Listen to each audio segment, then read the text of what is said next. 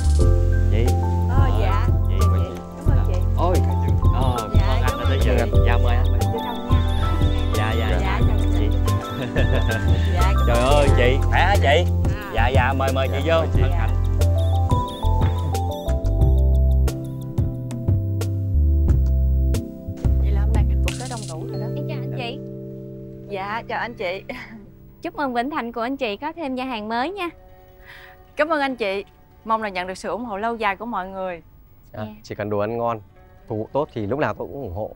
Chúc mừng chị đã có một người chồng vừa đẹp trai, vừa là bếp trưởng của chuỗi nhà hàng. Ngày nào cũng được ăn đồ ăn ngon. Gia đình mình quả là hạnh phúc. Tôi ngưỡng mộ anh chị lắm đó. cảm ơn anh Anh nói quả không sai Chị Lan với anh Nhân á, là một đôi trai tài gái sắc Vợ thì xinh đẹp, giỏi kinh doanh. Còn chồng thì khéo tay.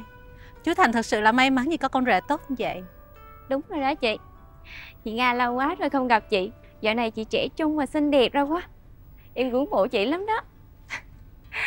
Cảm ơn em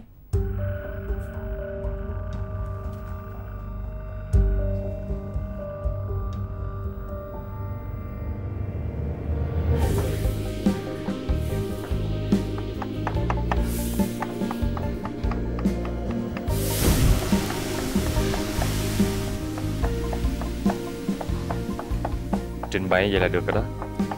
Nhưng phần trang trí nó hơi bị đơn điệu. Cho thêm màu sắc đi.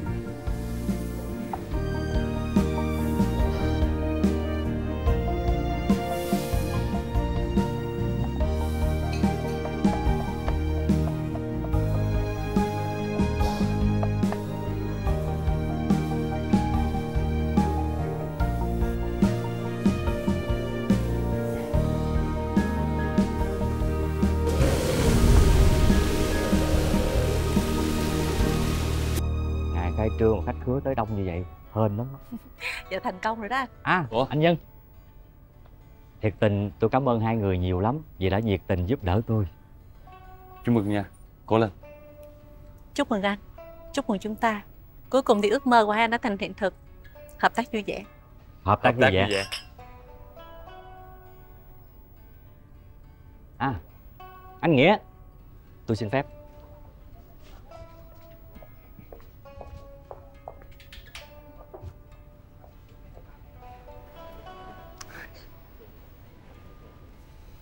Có gì cô giúp đỡ cậu ấy giùm tôi nha. Đương nhiên rồi. Anh Phát là bạn thân của anh. Nhờ có anh hỗ trợ Mà anh mới mời được nhà hàng này. Em là người quản lý. Dù anh không nói Em cũng sẽ cố gắng giúp đỡ hết mình mà.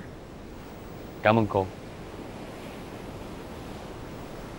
Ờm, Chuyện cuộc họp ngày hôm qua Anh đừng có buồn nha. Không có gì đâu. Tôi đâu có buồn. Anh không buồn là tốt rồi. Anh thông cảm đi. Dạo này tình hình tài chính có chút biến động có lẽ vì điều đó mà tổng giám đốc không dám mạo hiểm. Nhưng mà em rất thích ý tưởng của anh. Món ăn đúng là thứ thiên biến dạng hóa, mỗi nơi mỗi khác. Khẩu vị của con người thì lại thay đổi theo thời gian. Nhưng mà để làm vừa lòng khẩu vị của tất cả mọi người là điều rất khó. Có lẽ vì vậy mà tổng giám đốc không dám thử.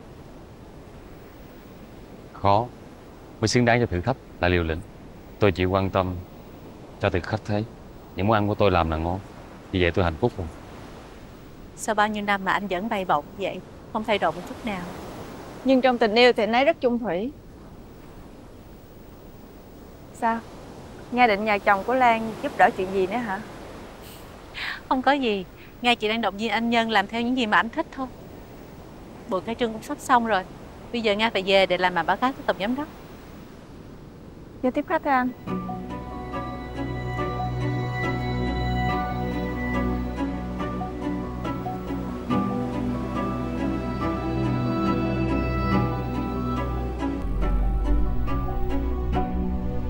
chuyện vui vẻ quá ha. Em nói ai? Tố Nga. Đang ôn lại kỷ niệm xưa hả? Nói gì vậy? Anh với Tố Nga bàn chuyện nhà hàng. Làm gì có kỷ niệm xưa mà ốm Với lại anh với Nga đã từng là bạn thân thiết. Em biết rồi mà còn hỏi. Anh coi người ta là bạn Nhưng mà người ta đâu có nghĩ như vậy. Nói gì vậy? Chuyện xa lắc xa lơ rồi. Bây giờ ai cũng lớn rồi. Chắc là làm gì không biết. Nhắc đến anh cảnh giác. Biết anh tốt tính. Người ta cứ tìm cớ để được anh giúp đỡ. Lúc đó lại xin chuyện. Em đừng có nói như vậy. Anh không có thích. Nói gì cũng không thích. Khuyên cái gì cũng không nghe. Thôi muốn làm gì làm. Đừng để tới tay ba là được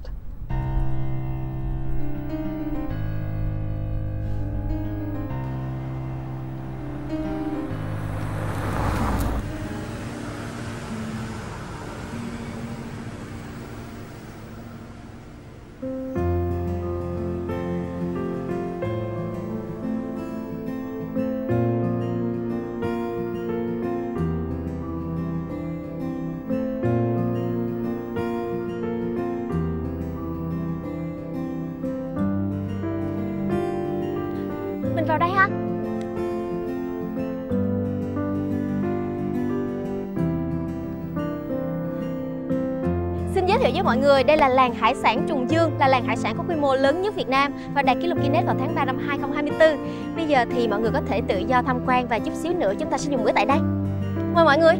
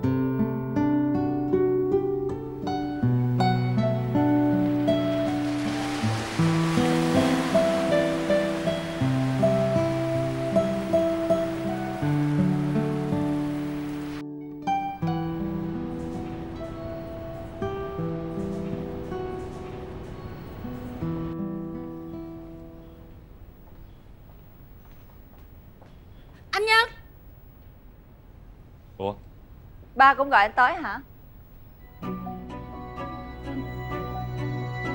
Đi anh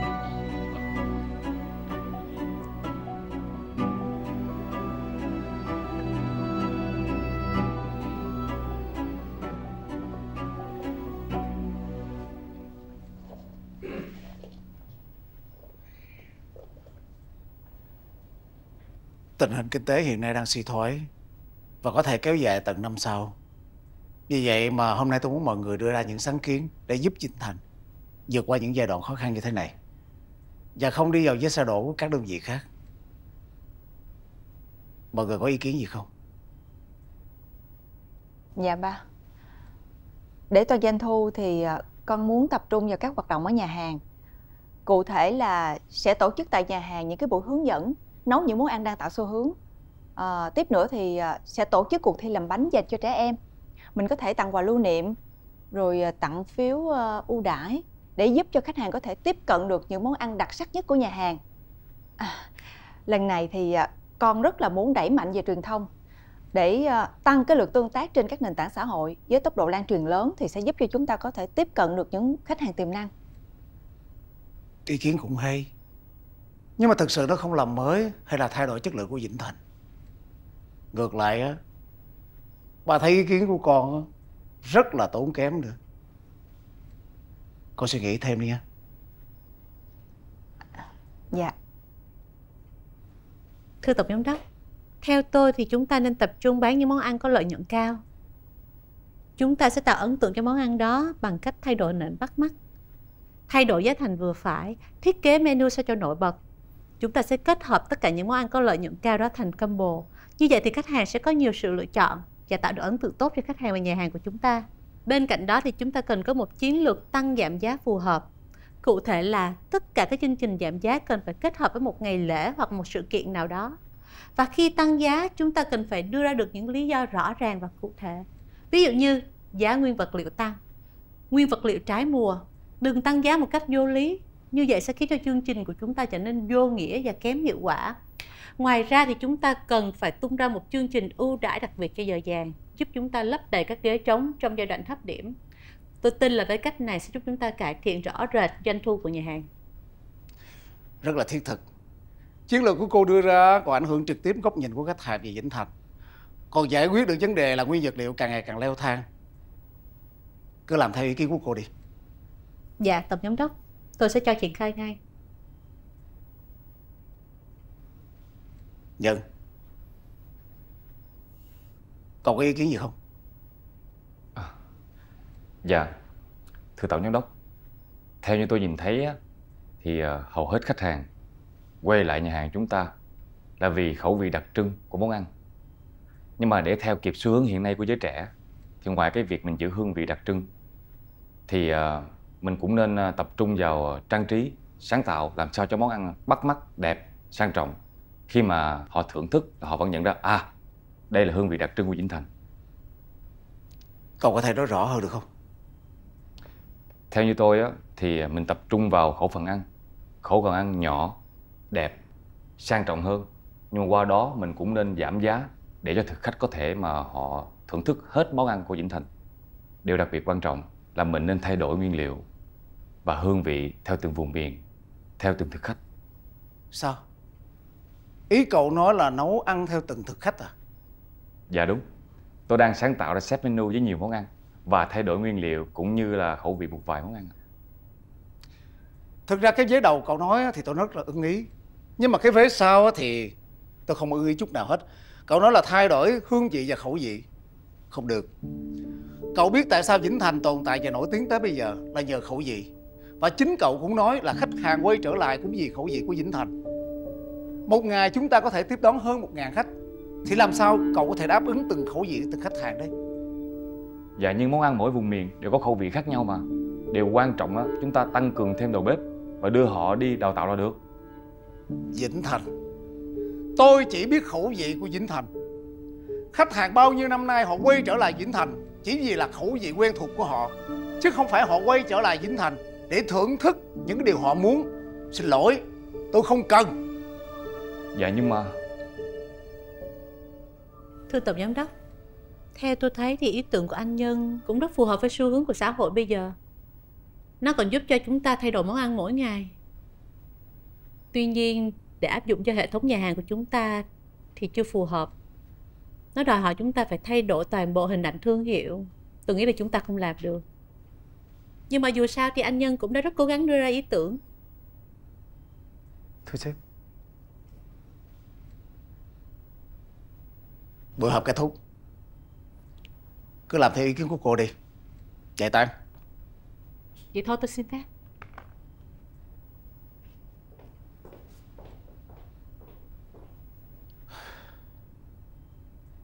Anh về bếp đi. Em có chuyện muốn nói với ba.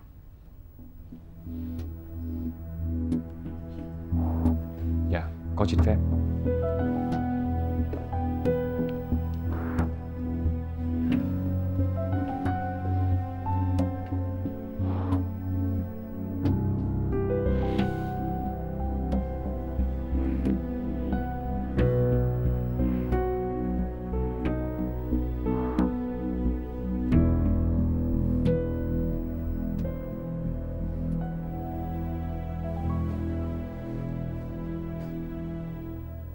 Tại sao lúc nào ba cũng đề cao ý tưởng của Tố Nga vậy?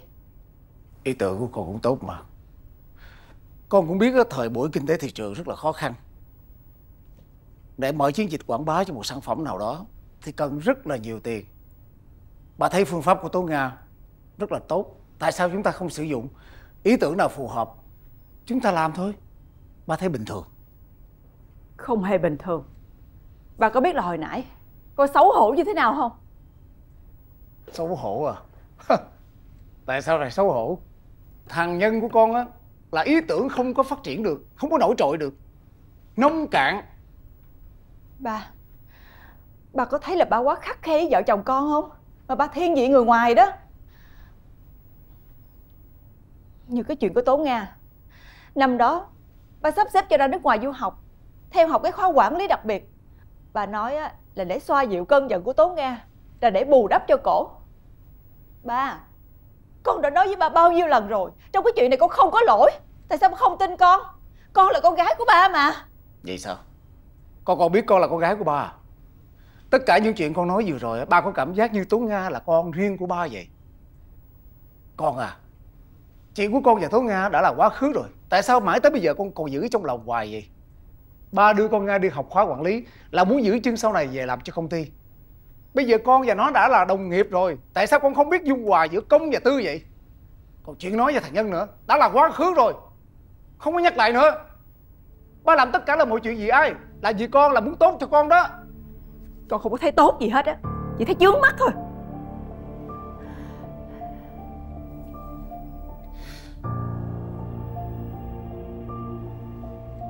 Lúc mẹ con mất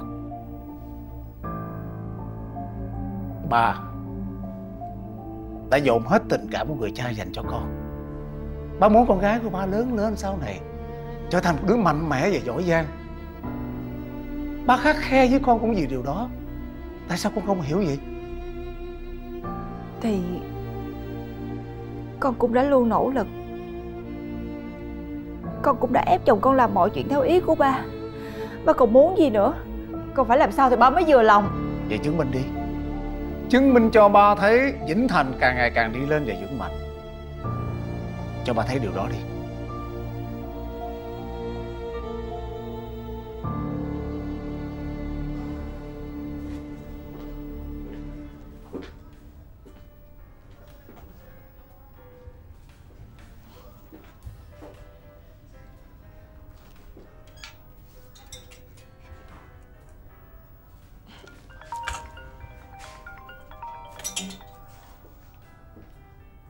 Dạ con nghe. Ờ Dạ chắc tối nay vợ chồng con không về được đâu má. Dạ dạ. Ờ vậy hả? Hồi để con nhắn anh Nhân thử. Dạ rồi má.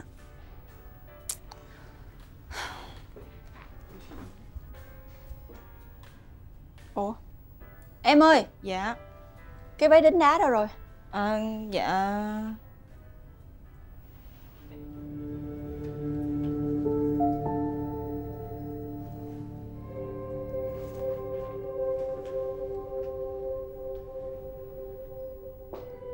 Cố tình đúng không?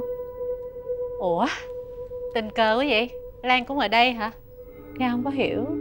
Cố tình là sao? Có gì đâu khó hiểu. Nga luôn thèm muốn tất cả những gì thuộc về Lan mà. Đây đâu phải lần đầu tiên. Nhưng mà lần này Bộ đồ có vẻ hơi rộng đó. Ừ Rộng thiệt ha. Nhưng mà tôi thích Tôi sẽ không bao giờ để cho Lan lấy đi bất kỳ thứ gì mà tôi thích nữa đâu. Bộ rồi tôi thanh toán rồi. Chịu khó chọn bộ khác nha.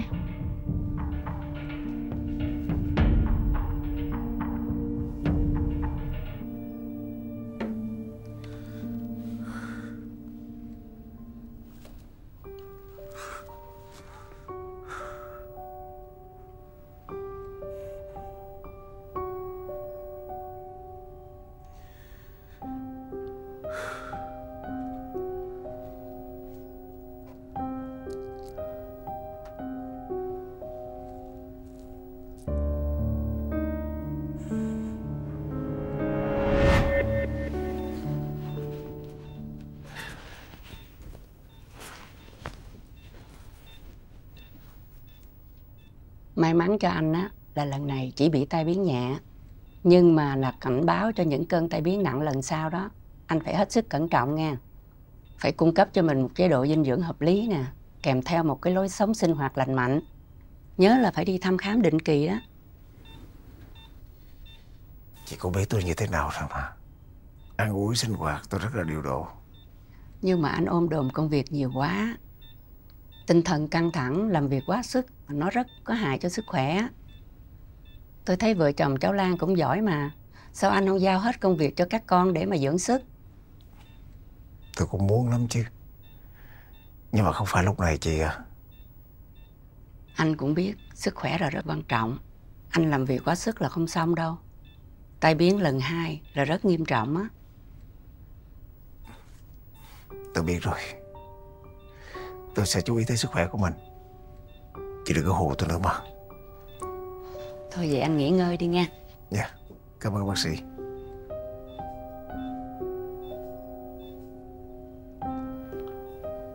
Sếp à? Cô Hoàng Chuyện này không được để cho ai biết được Dạ tôi biết rồi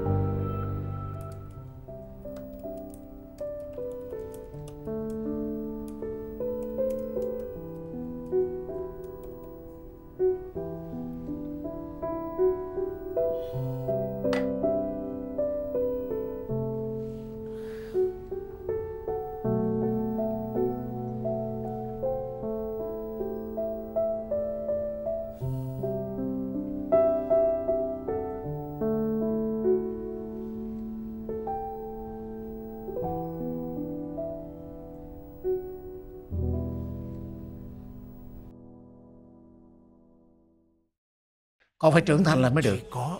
Vĩnh Thành là nơi kinh doanh chứ không phải nơi để con đưa ra ý tưởng Rồi con trải nghiệm cùng nó. Dạ con hiểu ba. Nhưng chẳng phải nấu ăn cũng là một môn nghệ thuật sao ba? Ba thật sự không hiểu luôn. Con là một đứa ngờ nghệch không có sự cầu tiến. Mà tại sao con Lan nó chọn con làm chồng? Nè Vậy thôi chứ giữ lấy cái này đi để lo cho bé Út. Tiền à? Tôi nói là tôi có tiền rồi Tôi đâu có xin đâu cất đi. Khi nào cần á tính tiếp. Nè Khi nào tôi hết tiền tôi xin nhớ cho nha. Sao không được? ai làm anh run rinh nhớ Em này, cái gì tào lao đâu không à Ờ, ờ. Mấy tháng nữa xin tôi gọi bằng chị dâu đi ha. Rồi tào lao dữ chưa? Em này, muốn ăn cốc nữa hả? Muốn không? Đó anh bắt mình Bảo Quy, đứng lại. Bảo Quy Con đã nói là con không bất cứ sự thiên vị nào khi thực tập hết.